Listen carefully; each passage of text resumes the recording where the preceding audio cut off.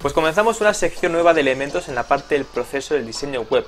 Es la parte del lanzamiento. Todos los elementos que veremos a continuación tienen que ver con la... Mm, con el movimiento del proyecto al servidor, eh, la entrega al cliente, con toda la documentación y la parte de las analíticas. Y como siempre, cada vez que iniciamos una, una área nueva de elementos en, este proceso del diseño, te recomiendo este libro que es muy bueno, muy completo, engloba todo lo que tienes que saber para, poder eh, crear una página web y como siempre en la descripción del vídeo está el link.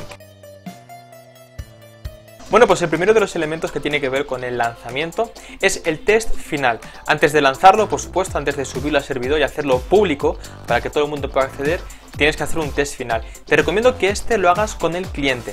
Tú ya le mostraste primero en el test inicial que dijimos cuál iba a ser el, diseño definitivo, ya le explicaste cuál sería el aspecto, cómo, cómo se utilizaría, eh, qué impresión tendría. El cliente en ese momento, en el primer test, te pudo decir, pues me gusta más esta opción que esta otra, cuando tú le enseñaste diferentes alternativas.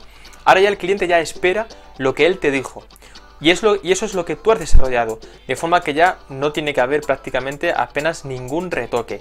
Y si ya sabes, ¿no? Si es de estos clientes vejiqueros que te piden mil cosas a última hora porque cambian de opinión constantemente, pues tú antes, te dije en los puntos anteriores, le tenías que haber advertido cualquier cambio costará más dinero.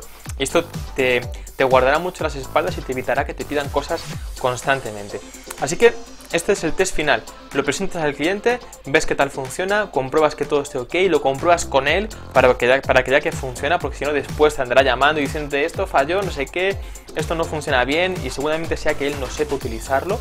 Así que el test final sirve para, para si hay que hacer algún último retoque, se hace.